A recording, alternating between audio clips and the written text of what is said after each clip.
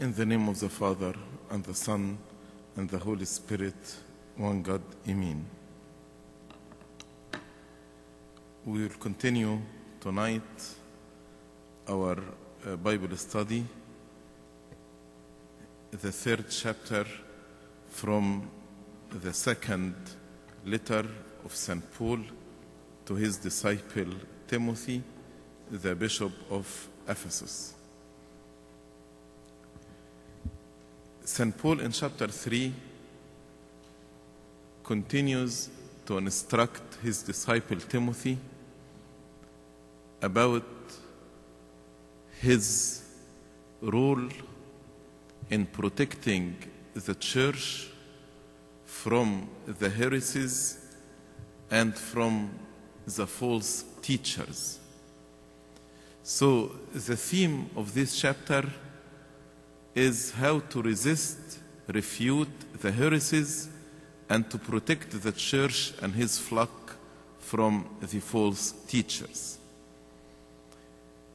St. Paul started by speaking about evil and wickedness in the last days, from verse 1 to 5. Then, from verse 6 to 9, he spoke about false teachers. From verse 10 to 14, he, he spoke about the faithful disciple who endures persecution in order to protect the faith. And finally, in the last verses, he spoke about abiding in the Word of God from verse 15 to 17 as a method to confirm your faith in the sound doctrine and be able to resist and refute the heresies. So let us start by reading the first five verses from verse 1 to verse 5.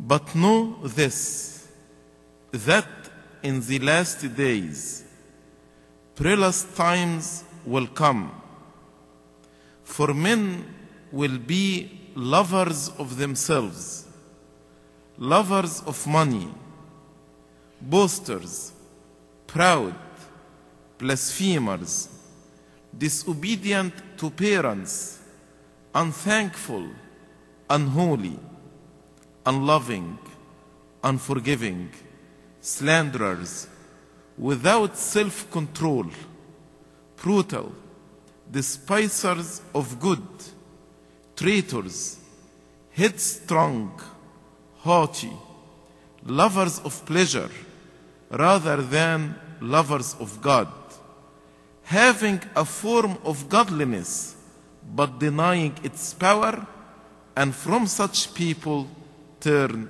away. The first point here, when he said, Know this, that in the last days. What are the last days? Many people interpret last days the days before the second coming of the Lord Jesus Christ. But actually, if this interpretation is correct, St. Paul wouldn't say to Timothy in verse 4, and from such people turn away. So he was speaking about his time as the last days. So, how can we understand the last days? You know, the birth of our Lord Jesus Christ actually separated the age before Christ and after Christ. And after the crucifixion of the Lord Jesus Christ and his victory over Satan, Satan now knows that he has a short time. Regardless how long is this short time, it is short time. And after this, he will be condemned eternally in the lake of fire. That's why Satan is working very hard to deceive the people. Yes, he is bound, but in spite of the fact that he is bound, but he is working very hard. And before the coming of Christ, the second coming of Christ, he will release. And this will be the great tribulation.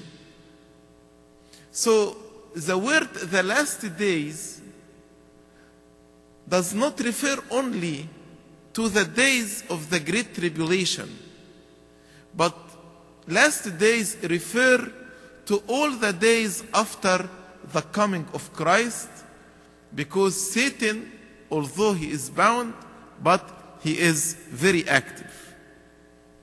That's why St. Paul said, in the last days, perilous times will come.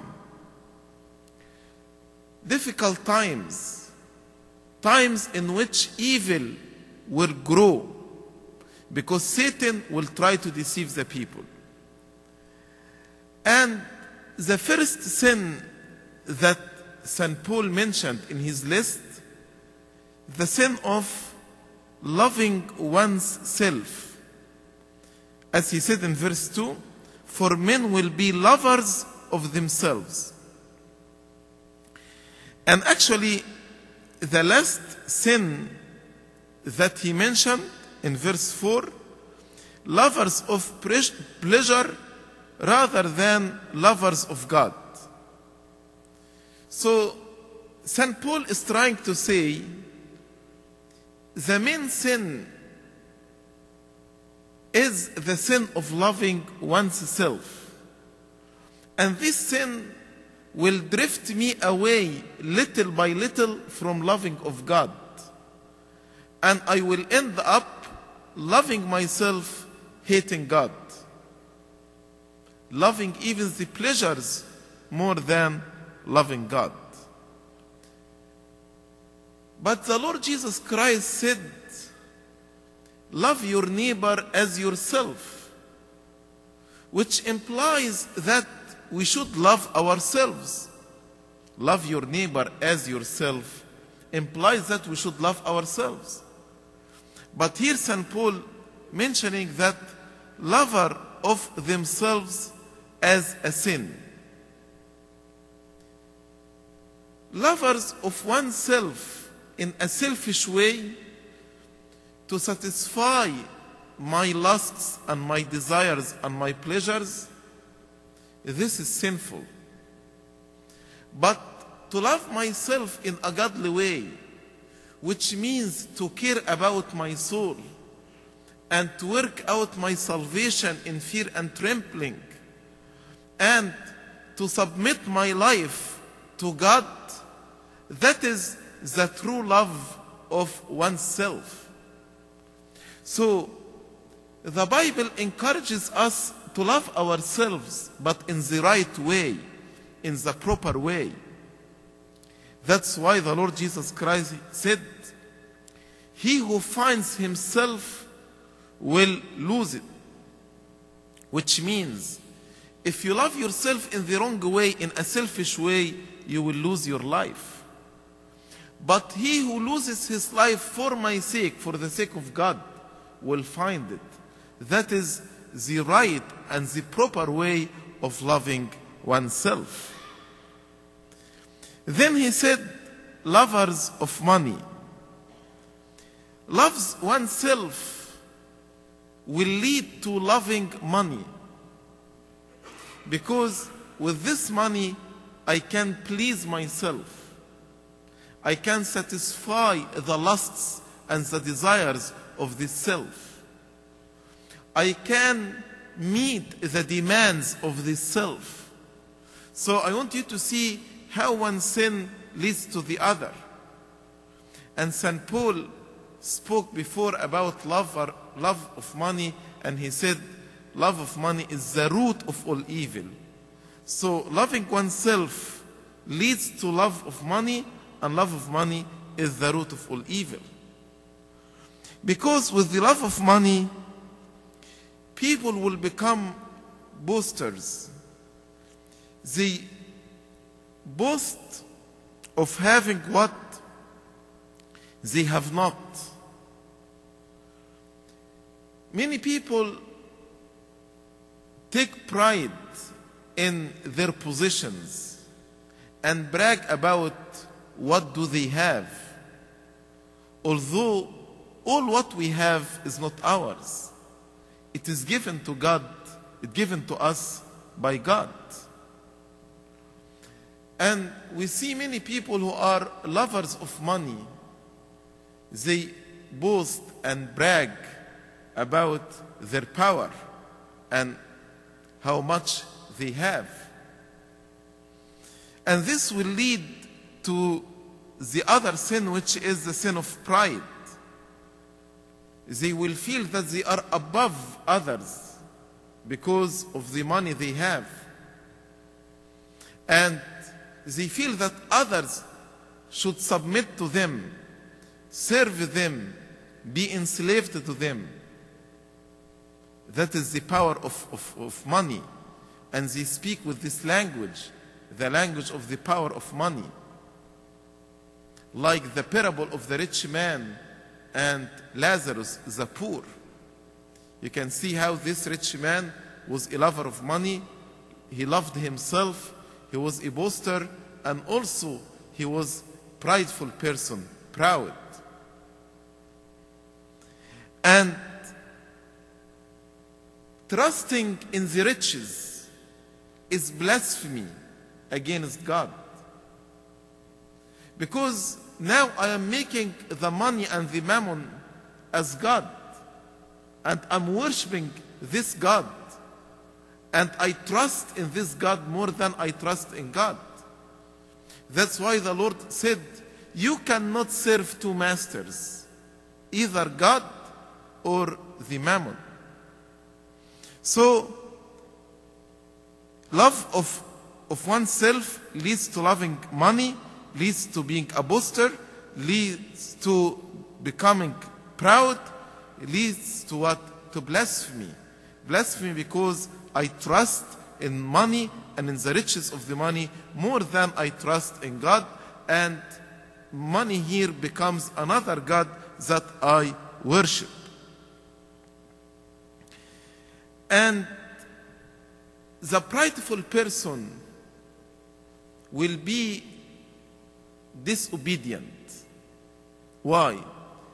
Obedience is the fruit and the daughter of humbleness. If you want to obey, you need to have a humble heart.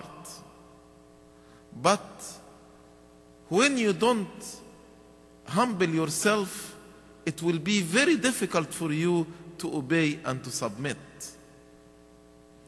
So, those prideful people will become disobedient even to their parents. Even, you know, by nature, the children listen and obey and trust in their parents. But because of this pride, now they become disobedient even to their parents.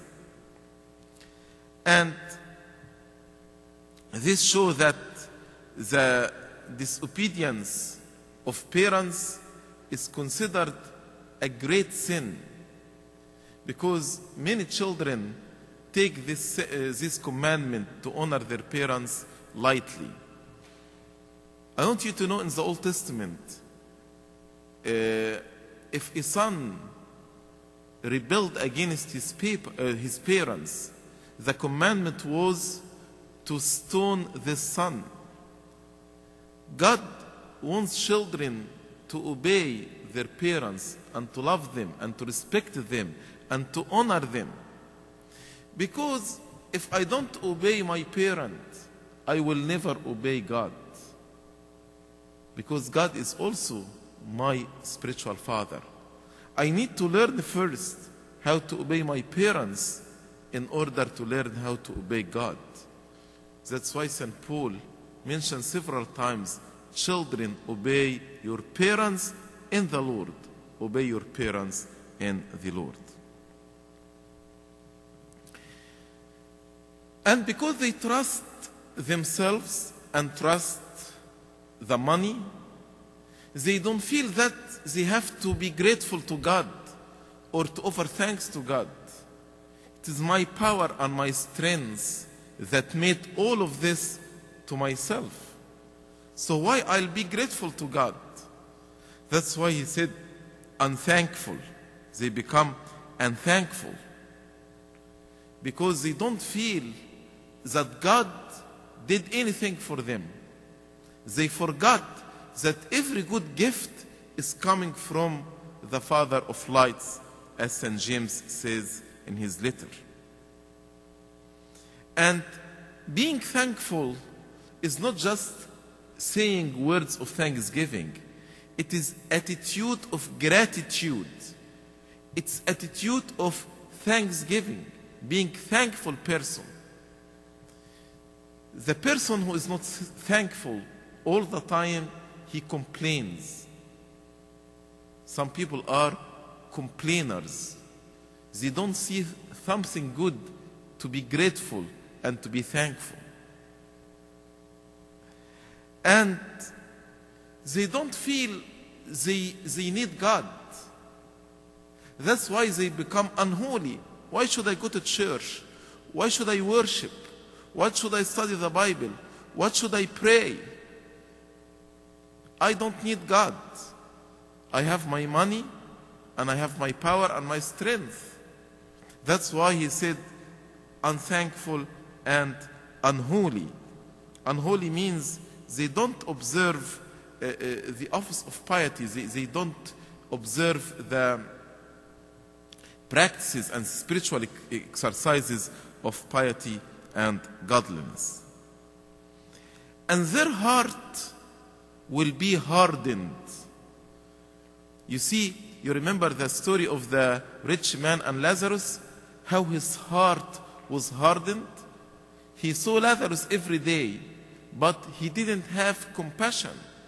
Yes, love of one's self and love of money leads to the hardness of heart. And because of this, they will become unloving and unforgiving. Unloving, they don't have compassion. And unforgiving, they, because if somebody hurt their pride or their ego, it's not easy for them to forgive. You need to have a humble heart to be able to forgive. But because of the pride and the ego, it is very difficult for them to forgive and to love. But rather, they will gossip and they will accuse people all the time. They will speak negatively about people all the time. They will become slanderers, as St. Paul said. Slanderers, false accusers. They speak about people, gossip about them, falsely accuse them. And because they are lovers of themselves, just they want to please themselves. So they will lack every kind of self control. Whatever their selves demand, it will be fulfilled. So it is not the spirit that leading the soul and the body, it is the opposite. The desires of the body and the desires of the soul leading the spirit. That's why they are not in control. They are not in control. So he said, without self control. Brutal means they will become inhuman to others. They will be rude because of the hardness of heart. They have no compassion.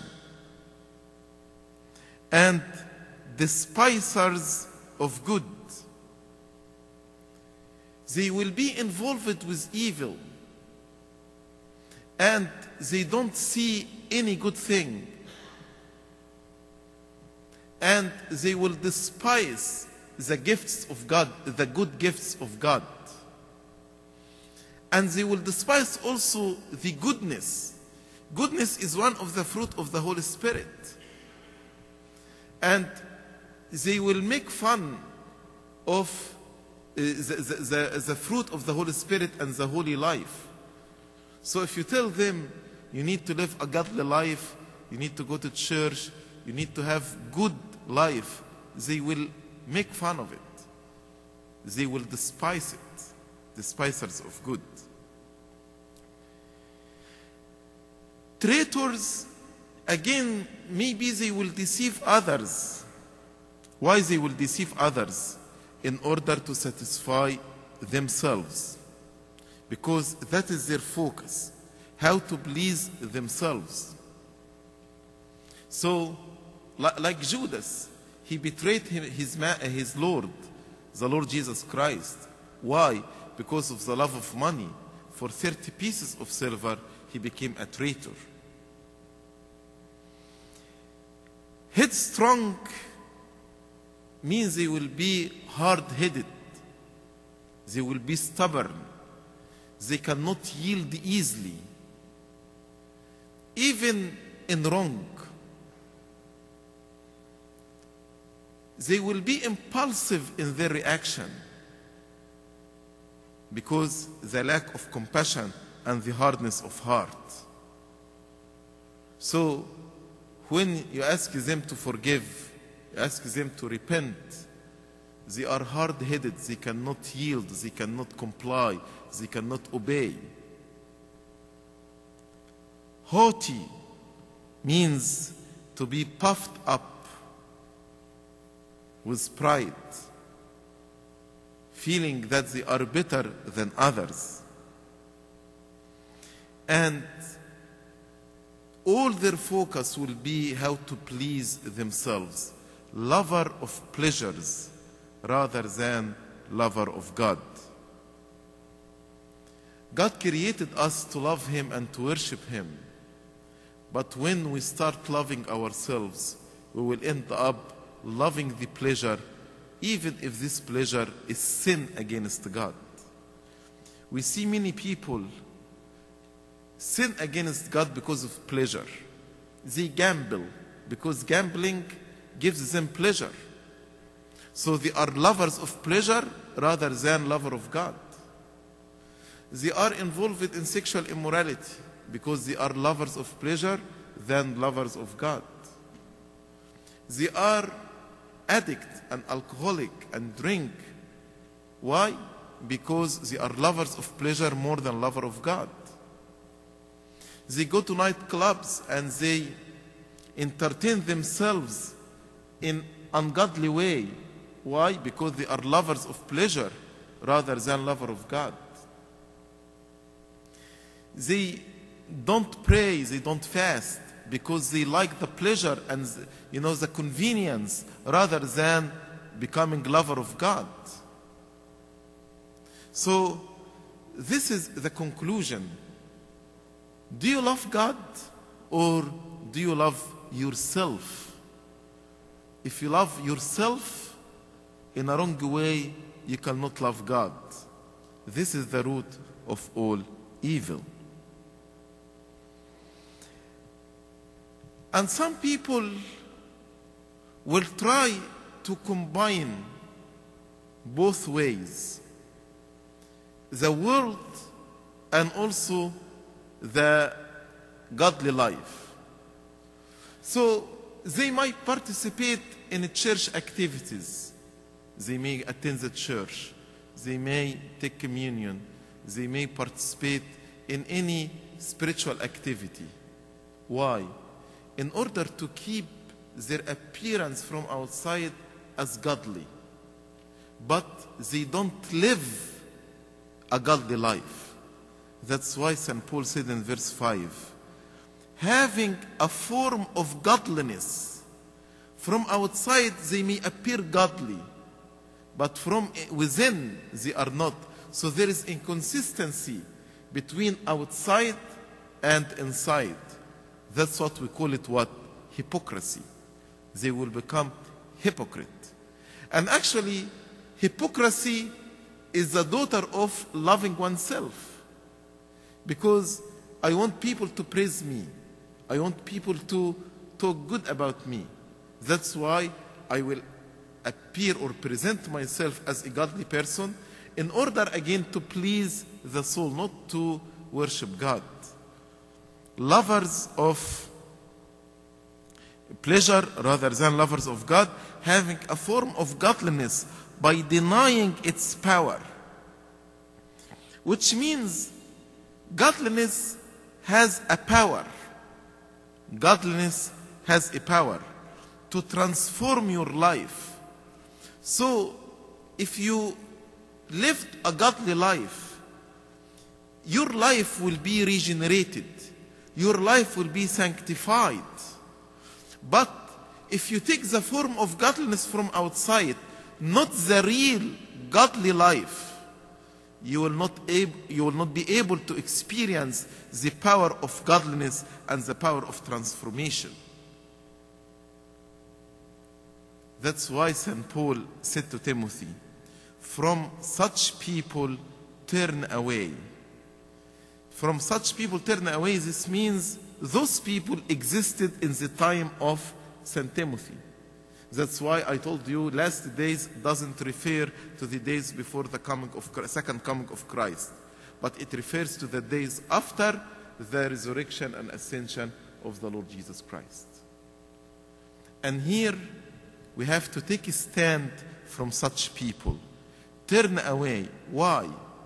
Because as St. Paul said in 1 Corinthians chapter 15, bad company corrupts good morals. If we hang around those people, then definitely we will be affected by them. Their ideology will affect our ideology. Their thoughts will affect mine. And gradually I will be conformed to them. That's why if you want to be transformed and to experience the power of godliness, you need to turn away from such people, which implies it is not wrong to make judgment and to have discernment to say these people are godly or not godly. How can I turn away from such people without being able to discern and make a judgment here? Because many times when parents say to the children, don't hang around these people, the first response is, don't judge. But St. Paul says, turn away from such people, which means we have to be able to make judgment, discernment, not to condemn them, but to be able to separate ourselves from them, lest be influenced by them. And St. Paul is saying, this ungodly life and all these sins will turn the person to a false teacher. So, if you look at the life of any heretic, any person like Arius or Nestorius, all these heretics, you will find deep down ungodly life underneath their heresies. Which means, if I live a godly life, this will keep me in the faith. And the opposite is true also. If I am confirmed in the good and sound doctrine, I will live a godly life. So both feed one another. But if I live ungodly life, I will try to change the teaching in order to fit my uh, pleasures. Like all the people today who are defending homosexuality. And they try to defend it from the Bible, from the Word of God. Actually, they are twisting the sound doctrine and the teaching for what? In order to please themselves. So instead of repenting and returning back to God, they turn it into what? Into false teachers. So the root of any false teaching is what? Is ungodly life. That's why St. Paul said in verse 6 For of this sort are those who creep into households. Of this sort, this kind of people, you will find some people who are creeping, creeping like, you know, deceiving, entering uh, uh, deceitfully into the households. Why? For what purpose? In order to receive and de- to deceive and make captives of gullible women, loaded down with sins, led away by various uh, lusts.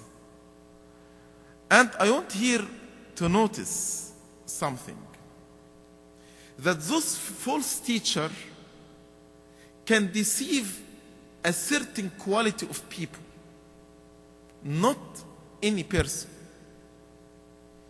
So, as St. Paul said, of this sort are those who creep into households and make captives of. What is the quality of people that will be enslaved to Satan and became captive to Satan? Gullible women loaded down with sins, led away by various lusts. So we can ask ourselves, what does make a person easily deceived?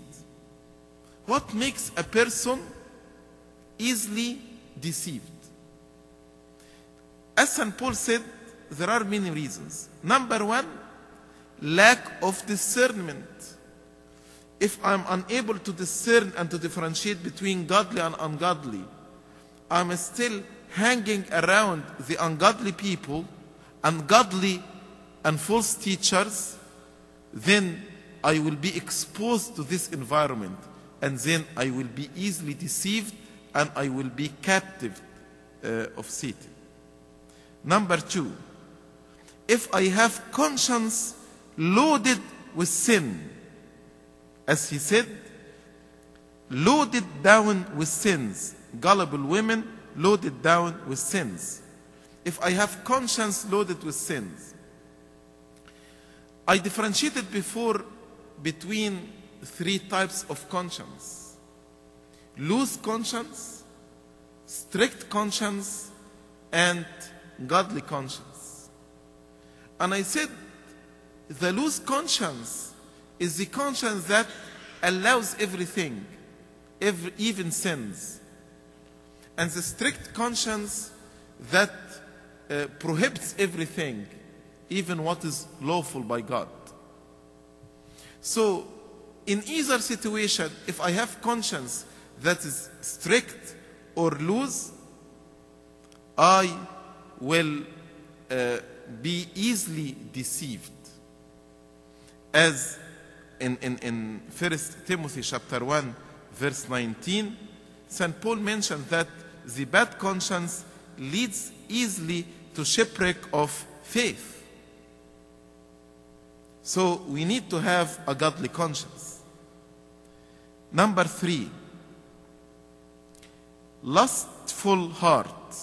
Lustful heart. As he said, gullible women loaded down with sins, led away by various desires.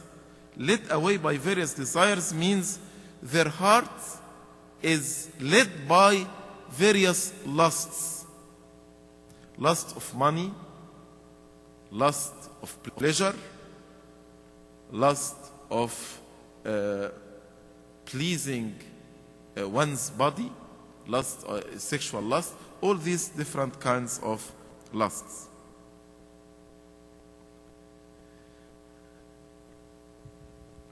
But why he said, make captives of gullible women loaded down with sins led away by various uh, lusts. Because the false teacher themselves, they targeting the women in order to satisfy their own lusts. So when they meet the, the right prey, then, you know, they will be, take them captives. That's why he said, make captives of gullible women loaded down with sins led away by various lusts. And the word gullible means like naive. And God called us to be simple, like doves, but not naive. That's why He said, Be wise like serpents. So, being simple and wise is a virtue, but being naive and gullible and easily deceived will put yourself in many, many danger and risk. So, in order for a person to be captive by Satan, he will surrounded by false teachers and also he will have naivety loaded a conscience loaded with sin led away by various lusts. But another reason that makes the person easily deceived is the ignorance of truth ignorance of truth that's what st paul said in verse 7 always learning and never able to come to the knowledge of the truth. Always learning. What kind of learning? There are many people who are learning and studying, but they don't know the truth. They cannot come to the knowledge of the truth. Maybe because they just follow any new doctrine, any new ideology. They don't examine the new doctrine and the new ideology against the truth of the Holy Bible. But sometimes actually they doubt the scripture and doubt the word of God. So although they are learning, but they are learning what? Learning doctrines that will destroy their faith. Like people who are reading uh, books like Da Vinci Code and all these, you know, this you are learning, you are reading, but you are reading to the destruction of yourself. So always learning, learning new doctrine, or maybe learning just for uh, mere curiosity, or learning to criticize the truth, like people who are interested to read in biblical criticism, just to criticize the Bible. But I want to assure you, all the biblical criticism can be refuted very, very easily. But if you don't have the, the knowledge of truth, you will be easily deceived when you read uh, in biblical criticism. That's why study the truth first before explore, exposing yourself to all these doubts that's surrounding us. Always learning and never able to come to the knowledge of truth. Which means the knowledge of truth is the only safeguard against heresies. If you want to protect yourself from being deceived, you need to know, to know the truth. And what is the truth? John 17 17. Sanctify them in your truth. Your word is truth. You need to know the word of God. That's why he concluded this chapter by speaking about the scripture and the word of God.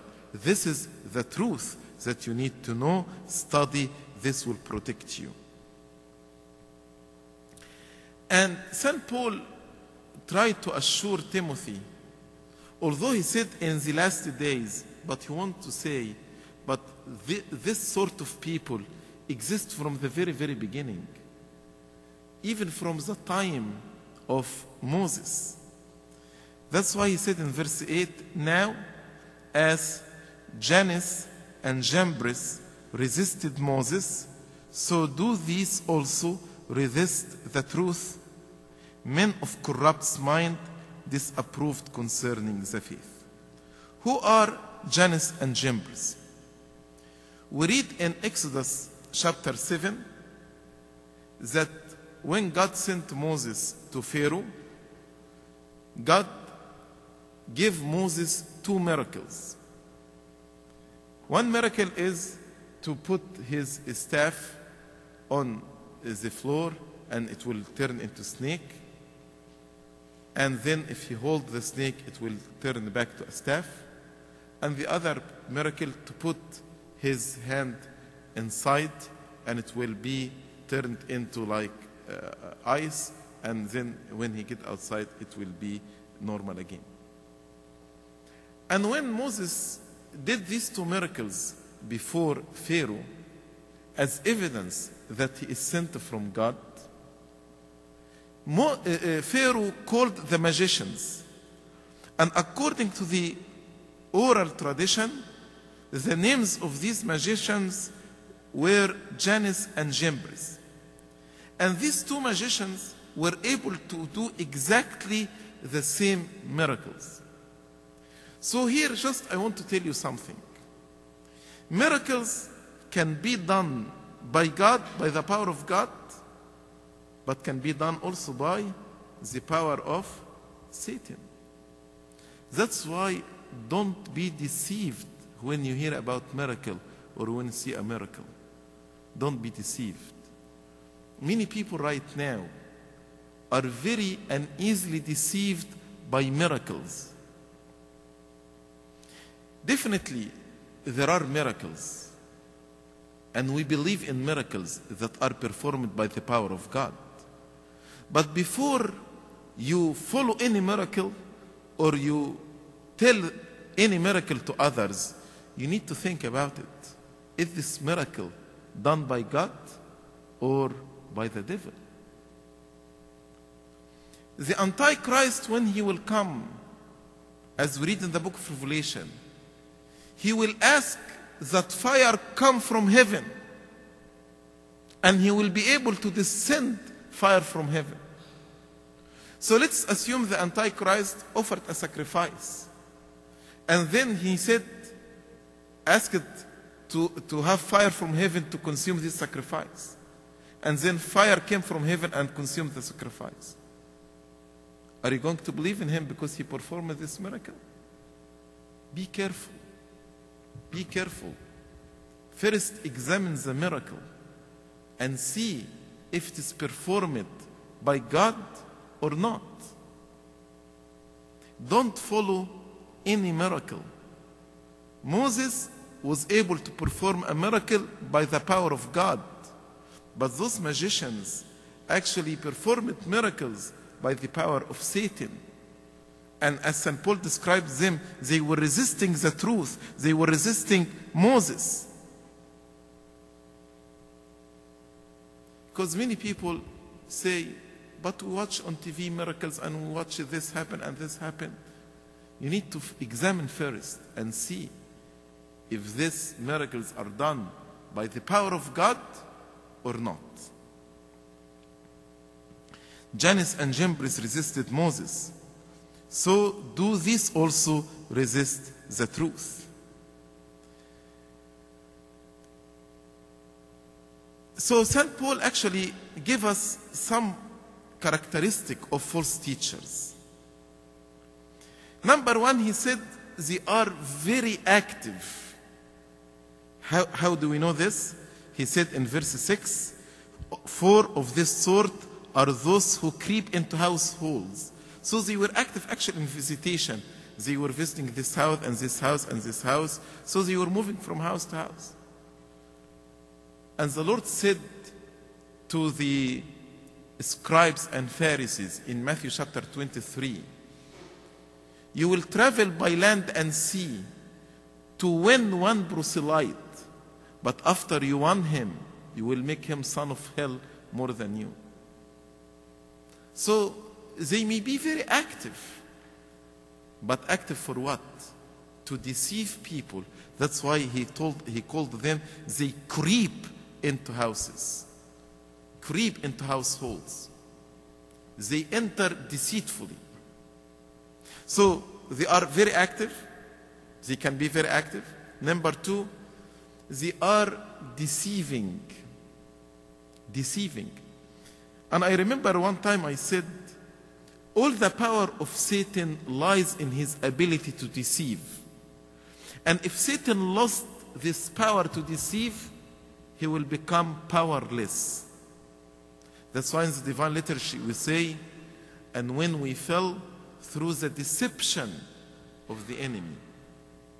That is the, the main power that Satan is using to deceive. So his soldiers, the false teacher, use the same technique. They deceive, deceive people. Number three, they have wicked intentions. They visit the households in order to make captives of naive women. Their intention is, is not godly. They don't visit in order to preach the truth and to win people to God, but they want to make captives of gullible women. Number, uh, we said they are active, they are dece- uh, deceiving, they have wicked intention. Number four, they resist the truth. Even if you proved the truth from the Bible, they will resist it. Because the truth will uh, expose them. And they will believe in their wisdom and in their understanding and in their private interpretation more than the objective truth of the Bible. That's why St. Paul said also about them, they have corrupt minds. Corrupt minds. The way of godliness starts from your mind. That's why St. Paul said in Romans 12, be transformed by the renewal of your mind. So the process of transformation starts from here, from renewing your mind. And by the way, the word metania, which means repentance, metania is a Greek word means renewal of mind. Because meta means to change. Meta noia, noia from the word nous, and nous in Greek means mind. So metanoia means to change your mind, to renew the mind. So the life of transformation or the life of repentance starts from renewing the mind. In the same way, ungodly life starts from what? Corrupt mind. That's why he said they have corrupt mind. And he said also about them, disapproved concerning the faith. So their faith is not approved by God. Their external godliness and external piety does not please God, does not please God. With all they do and all their activity, they are not approved by God. So, regarding their faith, they are disapproved. And their progress, as he said in verse 9, but they will progress no further. So, maybe they will be advanced and they will become popular and they will have many followers, but for a certain time, temporarily. And then their progress, they will progress no further. They will progress no further. Why? Because their folly will be manifest to all as theirs, theirs referring to whom? To Jannes and Jambres, the magicians, as theirs also was. So the people will discover their deception after some time. And that's why they will progress no further. How did we know that the folly of the magician were exposed? We read this in Exodus chapter 8, verse 18, and chapter 9, verse 11. In the ten plagues, these magicians could not resist Moses when he sent boils and lice uh, as part of the ten plagues. They couldn't protect themselves. So the people realized that their power is limited because this power is from Satan, not from God. So, St. Paul is saying here from verse 6 to 9, he gave us some characteristics of the false teachers, but also he explained to us what makes a person easily deceived or becoming a captive by false teachers. And he is warning us to be watchful from the false teachers. Then from verse 9, uh, sorry, 10 to 14, he spoke about a faithful disciple. The faithful disciple is the disciple that will protect his, himself and his church, his flock, because Timothy was a bishop, from the heretical teaching and from the false teachers, even if he endured suffering for this, even if he endured persecution for this. The great Saint Athanasius was exiled five times and he endured many sufferings and persecution in order to keep the faith right not to compromise the faith. So St. Paul starts in verse 10 by saying to Timothy, But you have carefully followed my doctrine, manner of life, purpose, faith, long suffering, love, perseverance, persecutions, afflictions. So, as if he's telling him, you have no excuse to yield to these false teachers. You have no excuse to compromise the truth. You saw in me how I endured suffering and persecution for the word of God. And you, as my faithful disciple, you have to follow me. You have to follow me. Follow me in what? St. Paul mentioned different areas. He started by saying, You have carefully followed me, my doctrine. And here I want to highlight the word carefully. Because if you are following somebody in driving and you get distracted, you will end up in, in some other place. That's why to follow somebody, you need to follow carefully. So St. Paul, he is saying Timothy, you have carefully followed me. And he said it to him, he didn't tell him, you need to follow me, but in encouraging way. You have carefully followed me. St. Paul was a motivator. He, he, he knew how to motivate the people. So he told him, you have carefully followed my doctrine. So number one, in doctrine, in teaching. The teaching and the doctrines that St. Paul learned from the Lord Jesus Christ. And these doctrines were examined by the apostles in Jerusalem. This doctrine St. Paul passed on to Timothy. So he told him, You have followed my doctrine. You need to keep them. As I give it to you, you, you have responsibility to, to keep it pure and to teach it to other men, as we spoke last week.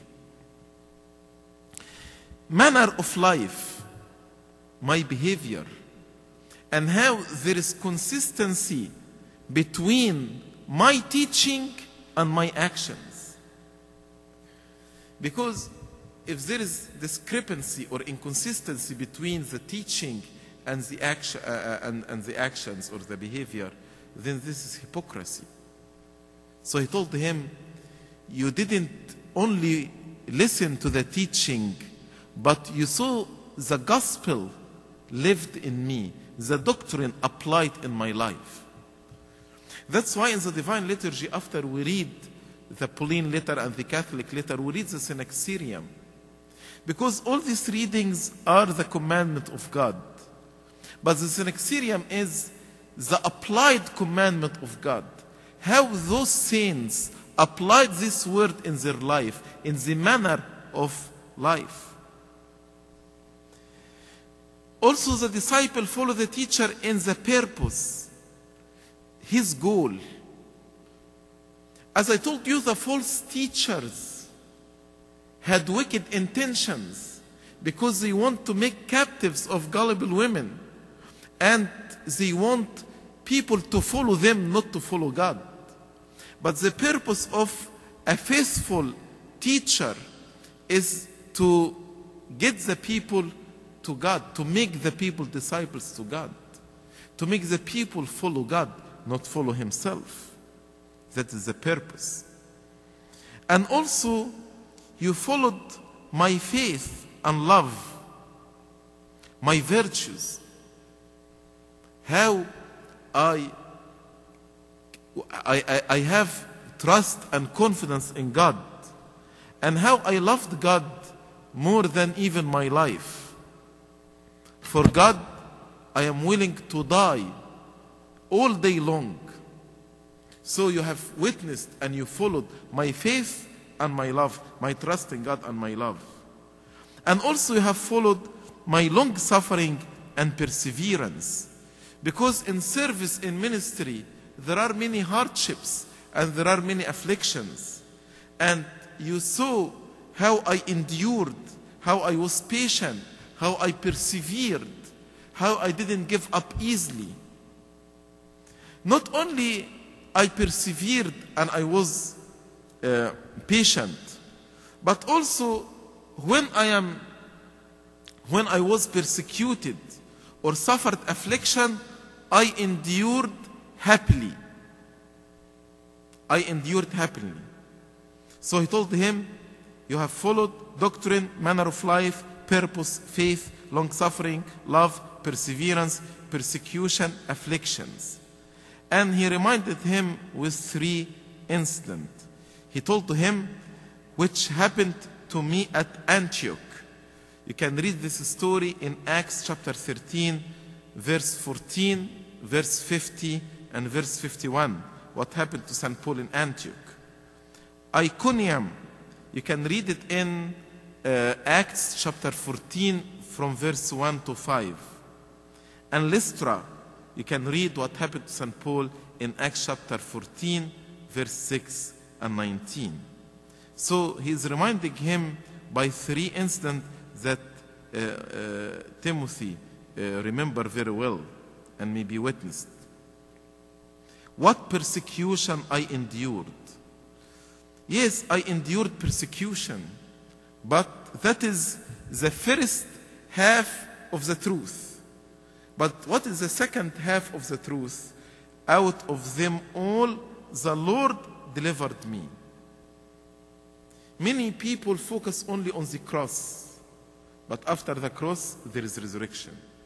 Yes, it is true, those who live godly in the Lord Jesus Christ will suffer. But this is the first half of the truth.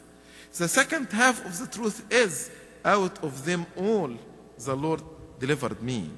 Like St. David said in his Psalms, Many are the afflictions of the righteous, but out of them all the, the Lord will deliver them.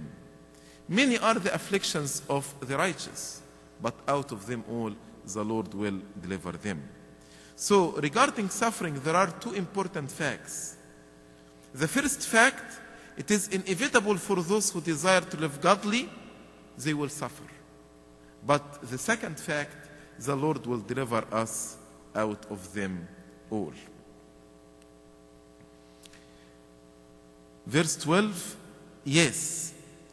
And all who desire to live godly in Christ Jesus will suffer persecution. So St. Paul is making, reminding us with what the Lord Jesus Christ told us. Narrow is the gate, and difficult is the way that leads to kingdom of God. But this is the first fact. Second fact is the Lord will deliver them out of us all. If we understand this verse, we will not ask why bad things happen to good people. Asking this question means we have wrong theology. The wrong theology means I believe that those who are good should not suffer. That's wrong theology. The right theology is all, as St. Paul said, all who desire to live godly in Christ Jesus will suffer persecution. Why? Because if you want to live godly, you will be a target for Satan. Satan will start fighting against you. So you need to expect this, but don't be afraid, because Christ is with you, and those who are with us are greater than those who are against us. So we shouldn't be afraid. We shouldn't be scared to know that we will suffer persecution. But Christ in the midst of the church, Christ in our midst, the gates of Hades shall not prevail against it. That's why we welcome persecution because we know Christ is with us. We expect it. We are not afraid or scared from persecution because Christ is with us. Christ in the midst of the church. Verse 13. But evil men and impostors will grow worse and worse, deceiving and being deceived. Now, St. Paul is comparing between the false teachers and the true teachers like Timothy, the true ministers, the true bishops, the true uh, servants. He said, the faithful disciple will follow the doctrine, the manner of life, the purpose, the faith, etc. But the evil people and the impostors, impostors means the seducers, those who deceive and seduce others. Evil men and impostors, the false teachers, will grow worse and worse. Will grow from worse to worst, deceiving and being deceived. Because the person who deceives others will be easily deceived by others. He who deceives other will be unable to protect himself from deception, but rather he will be easily deceived by others.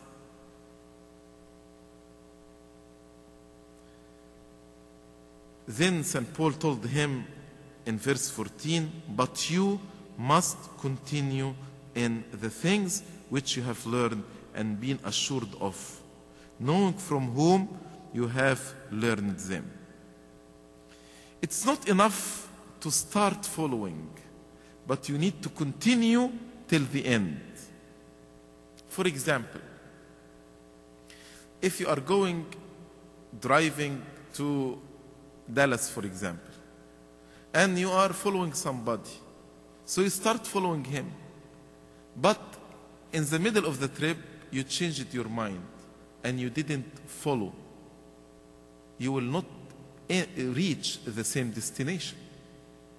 So it's not enough to start following, but you need to continue following till you reach your destiny, your destination. That's why St. Paul, after he told him in verse 10, You have carefully followed, now he told him, But you must continue in the things. You must continue in following all these things which you have learned and been assured of. And here I like what St. Paul said. learned and been assured of. Compare this with those gullible women that he mentioned in verse 7, always learning. What is the difference between the learning of these people, these gullible women, and the learning of Timothy? When Timothy learned, he was assured of his learning by examining what he learned by the truth in the scripture, as he told him in verse 15. So, when you learn something or you hear something, examine it first against the truth of the Bible. You need to be assured of what you heard. Not anybody will tell you anything, you just believe it and follow it. You have to have the spirit of discernment to examine and to discern between what's right and what's wrong. That's why those women were deceived because they were continuously always learning but never able to come to the knowledge of truth because they did not examine what they learned against the truth of God, the word of God. But Timothy, he have learned, he has learned and also been assured of. And not only he was assured because he examined the learning against the teacher, but he took the, the, the, the doctrine or this learning from what? Trustworthy sources. That's what he told him, knowing from whom you have learned them. From whom he was not referring to himself, St. Paul only, but also he was referring to his grandmother Lois and his mother Eunice, as he mentioned in chapter 1. So, Timothy learned from trustworthy sources. He examined the truth against the scripture, the word of God. And also, he saw uh, consistency between the life of his teachers, his mother, his grandmother, St. Paul, and their teaching. He saw that there is consistency between their life, their godly life, and uh, their teaching. That's why St. Paul told him, Yes, you have followed, but you must continue in the things which you have learned and been assured of, knowing from whom you have learned them. And then he's concluding this chapter by the importance of the scripture, the word of God, in protecting me against false teaching and heresies.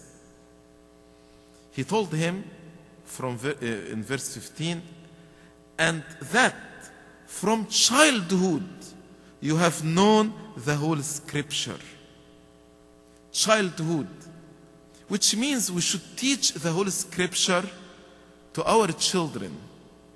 We shouldn't wait until they are adolescent and then we start teaching them the word of God. Why it is important? Because even in their childhood, they will be exposed to many false teaching. If they know the truth, then they will be able to examine what they learn against the truth.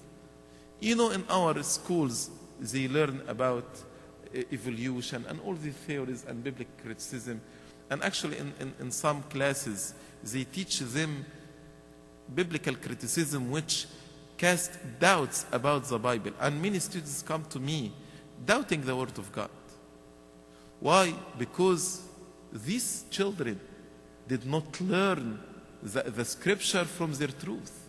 From the, sorry, they did not learn the scripture from their childhood. If they learned the scripture from their childhood, now when they are exposed with all these attacks, they will be strong. We have responsibility as parents to teach our children the truth, the word of God. And we have to, to study it first in order to withstand uh, and be strong against the false teaching. And that from childhood you have known the Holy Scriptures, which are able to make you wise for salvation. Which are able to make you wise for salvation. In Arabic, التي تحكمك يعني تعطيك الحكمة لأن some deacons they read it تحكمك للخلاص no تحكمك يعني give you wisdom make you wise and that from childhood you have known the holy scriptures which are able to make you wise for salvation through faith which is in Christ Jesus the word, word of God will make the person wise for salvation which means wise for salvation there is heavenly wisdom and there is earthly wisdom the heavenly wisdom leads the person to the salvation. So he may lose his life on earth for the sake of Christ in order to win his eternal life. But the earthly wisdom teach the person not to lose his life on earth. And it's okay to lose your heavenly uh, salvation. But the, the word of God will make you wise for salvation through faith. Because also the, the, the, uh, the word of God will confirm you in the sound doctrine, in the true faith, which is in Christ Jesus. And why the scripture is the only safeguard against the heretical teaching? Because only the scripture is the word of God, inspired by God. That's why he told him all scripture is given by inspiration of God. The whole scripture is not words of people, it is the word of God. One time, there was a discussion about homosexuality, and the response was, but it is St. Paul who condemned homosexuality, not the Lord Jesus Christ. Which means they differentiate between the words of St. Paul and the word of the Lord Jesus Christ. But now we know all scripture is given by the inspiration of God. I cannot differentiate between the words of St. Paul and the word of Jesus because every word are written by the inspiration of the Holy Spirit. What's inspiration? The definition of inspiration is the supernatural action of the Holy Spirit on the mind of the sacred writers, whereby the scriptures were not merely their own but the Word of God. So the inspiration means the Holy Spirit protected the writers, the authors of the scripture, so that every word they write it, they write it by the guidance of the Holy Spirit and it is infallible. Inspiration is different than dictation. Dictation means a supernatural power appeared and dictate, write. So here the author doesn't have any freedom. This is not the inspiration. Inspiration is not dictation. Inspiration protected the style of the person. That's why I can say this is the style of St. Paul, this is the style of St. John, this style of St. Mark. But the, the, the Holy Spirit protecting them from making any mistakes. That is the meaning of inspiration. So all scripture is given by inspiration of God and is profitable. Why do we should study the scripture? Because studying the uh, scripture will make me wise. How it will make you wise? Because it is profitable for doctrine and for reproof. What does it mean, doctrine and reproof? Doc- doctrine to teach me the sound doctrine. Reproof to uh, make me able to refute the heretical teachings. And the Word of God is able to convict the heretics uh, of their teachings and their heresies. So that is, uh, the word of God is profitable for doctrine and reproof. Also, it is profitable for correction, instruction, uh, in righteousness. So the first two points, doctrine and reproof, it's about the dogmas and the doctrine. But the second two points, correction and instruction, it's about the practical life, the applied doctrine. Correction means to set me right, on the right track. So when I study the scripture, it will pierce my heart. It will convict me, this is wrong. So it will correct me. And also, the Word of God will discipline me, instruct me in righteousness, will, will, will give me uh, tools and exercises how to overcome sin, how to grow in uh, my spiritual life.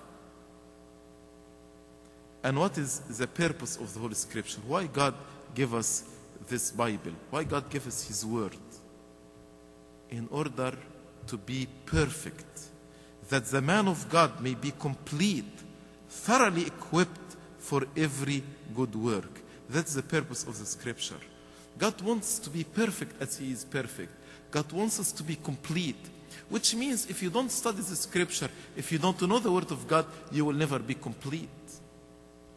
You will never be equipped for every good work. In order to build a church like this, you need to have equipments. So, in order to build the church of God, to build your temple, because you are the temple of God and the Holy Spirit abide in you, you need equipment. And what will equip you for every good work? It is the Word of God. It is good eh, eh, that the man of God may be complete, thoroughly equipped, totally equipped for every good work. So we can say that the sound doctrine and the godly life that we will learn from the scripture are two essential equipments in order to produce good fruits for good work. So in this chapter, St. Paul covered the point of the false teaching. He, he started by uh, discussing the, the, the, root of the false teaching, which is evil and ungodly life. Then he spoke about the false teachers and the characteristic of the true teacher, and then about the importance of abiding in the Word of God in order to be thoroughly equipped for every good work. Glory be to God forever and ever.